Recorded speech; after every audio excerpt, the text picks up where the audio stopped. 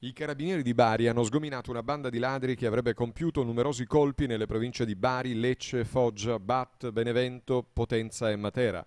L'organizzazione della banda era precisa. Il primo gruppo si occupava degli assalti ai bancomat e ai furti in ville e appartamenti. Il secondo era specializzato nei furti di auto di grossa cilindrata.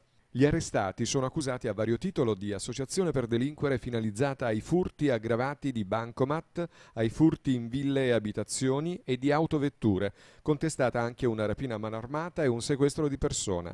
A finire in manette Massimiliano Rizzo, 41 anni, Stefano Ferri, di 34, Giacomo Anaclerio, 39enne, Gaetano Cutrignelli, 43 anni, tutti di Bari, e poi Tommaso Nuzzi, quarantenne di Corato, Savino Liso, 44enne di Andria, Aldo Di Tommaso, 26enne di Corato e Giuseppe Cuocci, sessantenne di Bisceglie.